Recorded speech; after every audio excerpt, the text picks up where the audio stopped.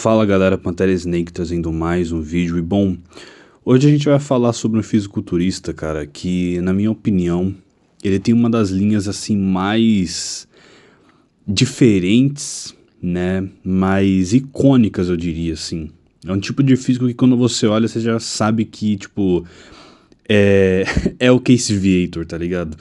O antebraço dele, o jeito que o peitoral dele combina com os ombros e tal, é muito, eu diria que é muito icônico dele em si, né? Tá muito longe de ser um físico daqueles que a gente está acostumado a ver com Arnold, Frank Zane e tal.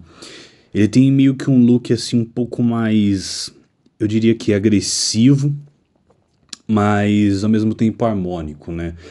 Porque de certa forma segue as regras ali do que é um físico clássico, né? Então assim, uma cintura muito bem controlada, braços grandes e tal.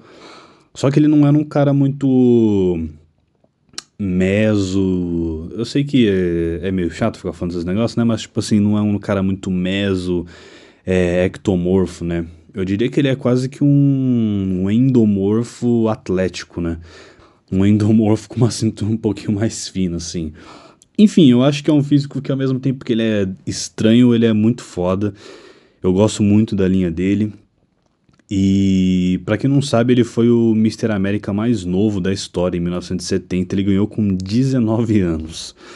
Pois é, eu, eu acredito que o Case Viator ele tem assim uma das genéticas mais sinistras do fisiculturismo, né? Bom, eu recomendaria que vocês vissem aí no meu canal que tem um vídeo sobre o experimento colorado, que foi feito com o Case Viator após ele sofrer um acidente de trânsito ele ficou um tempo parado e o Arthur Jones, que era um estudioso do fisiculturismo de métodos de treino, criador das máquinas Nautilus, ele chamou ele porque ele queria provar que os métodos de alto volume do Joe Weider não funcionavam. Né? Então ele colocou o Casey Victor para treinar lá de 3 a 2 vezes por semana, com volume muito baixo, intensidade lá no talo, etc, etc. E foi aquele famoso experimento que Casey Victor ganhou quase 30 quilos em um mês e tal. Só que, bom, você vai lá e você vai ver os naquele vídeo as controvérsias, né? E entre as controvérsias está, obviamente, o fato de que, além de que tem a memória muscular, né? Porque ele já era um cara, já tinha ganhado o Mr. América, etc, etc. Ele era o dono de, um, de uma genética sinistra, né? Inclusive, não só o Casey Viator, mas o Sérgio Oliva também era um dos pupilos, foi um dos pupilos do Arthur Jones por um tempo, né? Então, assim, você vê que o Arthur Jones ele queria provar o ponto dele só usando as melhores genéticas do mundo, né? Porque Casey Viator e Sérgio Oliva, né? É foda. E bom, eu tava vendo aqui uma. Isso daqui é de uma matéria, tá? De uma revista dos anos 80, quando o Casey Viator tava. Já tinha passado pelo experimento colorado tal. É, porque esse acidente foi nos anos 70 e tudo mais, isso daí a gente está falando agora de 83. Casey Vitor ele ia pro Mr. Olímpia e ele estava contando mais ou menos como é que estava a rotina dele.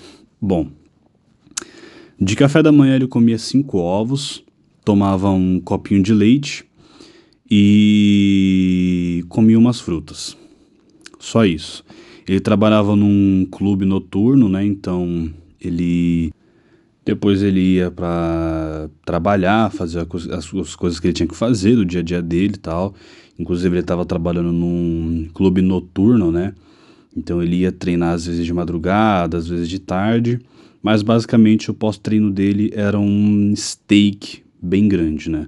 Bom, a gente sabe que naquela época os caras, eles, apesar de já falar em caloria, eles não tinham muita essa, esse negócio de pesar a comida, etc. Então, assim, ele literalmente descreve como um pedaço grande de steak. Ele não fala quantas gramas que ele estava comendo de carne, né? E também não fala quanto de leite, né? Ele fala que tomava um, um, copinho de leite. Pode ser um copinho, pode ser um copão. E falava que comia algumas frutas. Cara, o fato é. que quando a gente vai falar do treino dele, após ele ter feito o projeto Colorado, etc, etc, ele voltou pro alto volume. Porque, sim, ele falou: ah, mano, hum, esse negócio de treinar meia hora não é para mim, esse negócio de fazer duas séries não é para mim. tá ligado? Eu gosto de alto volume e é isso aí. Então ele tava treinando até 4 horas por dia. Não só isso.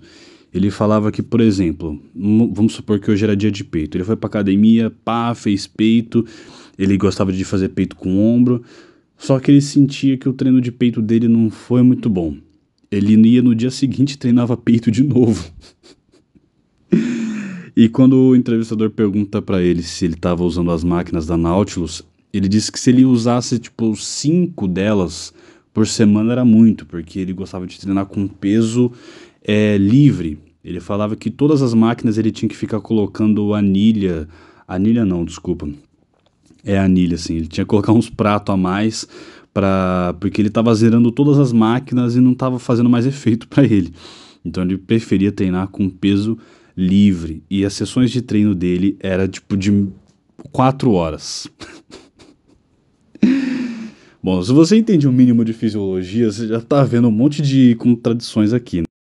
Porque assim, o cara tava fazendo uma dieta de baixíssimo carbo, né? Porque assim, fruta, fruta não tem tanta caloria assim, né? Fruta é basicamente a utilidade dela, acho que no dia a dia seria as vitaminas, fitoquímicos e fibra, né? E é, tudo bem que ele não especifica, né? Vai que ele tava comendo, sei lá, um cacho de banana com 50 morangos, né? A gente não sabe, né? Mas, sei lá, se ele tivesse comendo uma maçã e uma mexerica, é pouco, né? E tem o carbo do leite, né? Agora, a carne e o ovo não tem nada de, de carboidrato, né? Então, assim, uma uma, teoricamente uma dieta de baixíssimo carbo e até de pouca proteína também, porque, de novo, a gente não sabe quanto que ele estava comendo, né? Mas, cara, são quatro horas de treino.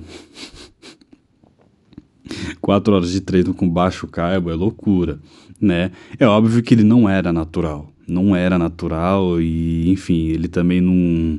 Todo fisiculturista teve uma fase ali de falar que era natural, de falar que usava pouco tal né? Mas depois todo mundo falou, é, não, eu usava mesmo. Então, assim, hoje em dia não, a gente não precisa nem entrar nessa discussão, né? É óbvio que nenhum deles era stranger to the needle, né? Quem fala inglês já ouviu essa expressão por aí, né? Mas, cara, eu acho muito interessante como que esse esporte, ele é um negócio, assim, que beneficia certas genéticas, né, cara? Porque, assim, eu vou te falar, não duvido muito Apesar de que a gente tem que sempre tomar muito cuidado com todas as entrevistas que esses caras davam para as revistas, né? Porque eles gostavam de puxar saco pro estilo de treino do, do Joe Weider, etc, etc. Cara, eu não duvido que ele tava fazendo isso mesmo, tá ligado? O cara tem. Cara, Casey, cara é o Casey Viator, tá ligado? Agora assim, eu não tô falando para você comer cinco ovos, um steak, tomar leite, treinar quatro horas por dia você não vai ficar igual ele, tá ligado? A menos que você tenha a genética dele, né? Pra você ver se um cara tem uma genética foda, é só você olhar pro antebraço dele. E o Casey Viator tinha um dos maiores antebraços da Golden Era. Então, tipo, você já vê que o maluco, mano, esse cara aí não, não mexe com ele, tá ligado? E gostava de uma birita, né? Mas eu vou te falar aqui, um dos pontos altos dessa entrevista é quando o cara pergunta pra ele, e eu achei que a sua execução ela ia ser um pouquinho mais lenta, assim, sabe? que você ia pegar os halteres e tipo. Um, dois, três, quatro, e um, dois, três, quatro para descer, e etc, etc. Ele fala: Não, cara, eu gosto de ter. Na verdade, a resposta dele é: Eu acho que isso é perda de tempo. Eu gosto de fazer explodindo mesmo, tá ligado? É pá, pá, pá, pá. Cara, e assim, eu acho isso muito interessante porque hoje em dia a gente tem muito estudo, tá ligado? Muito, muito estudo. E o meu papel aqui nesse canal, tá, gente? Só para deixar claro, não é ficar falando pra, pra gente jogar esses estudos fora e tipo, foda-se a ciência e tal. Acho que a gente tem muito a aprender com eles, né? Mas eu gosto de ver essas entrevistas, por mais que deva ter assim algum exagero nelas, né? A gente tem sempre também que ter essa dúvida, porque, enfim.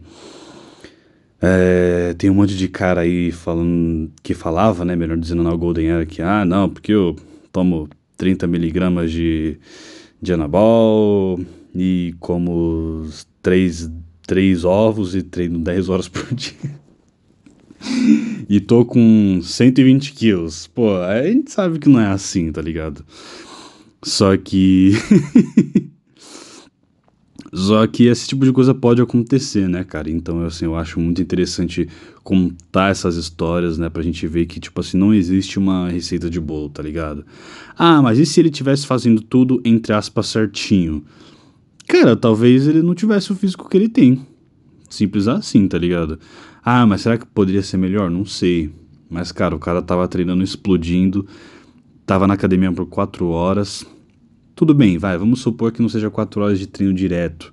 Que ele fazia uma resenha de 20 minutos ali, trocava uma ideia ali, pá, não sei o que lá. Cara, ainda assim, é extremamente impressionante e mostra pra gente que não existe receita de bolo nesse esporte, cara. E ó, lembra, hein? Não copia, não vai copiar não, tá bom? Bom, se você precisa de suplemento aí, de creatina pré-treino, dá uma ligada lá no site da Heavy Subs, usa o meu cupom Pantera, deixa o like, compartilha e tamo junto.